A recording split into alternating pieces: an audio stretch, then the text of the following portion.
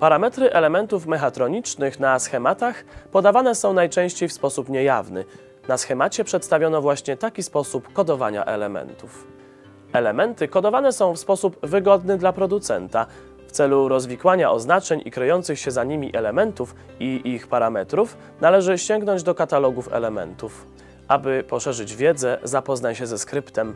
Zachęcam do aktywnego uczestnictwa w pozostałych częściach modułu.